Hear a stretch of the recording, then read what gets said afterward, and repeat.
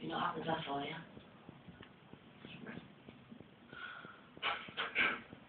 Is it so wrong for me to want to make things official?